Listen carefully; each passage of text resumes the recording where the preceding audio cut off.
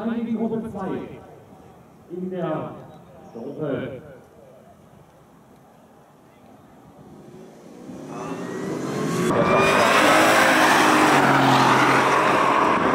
An die von Attila Gilmas.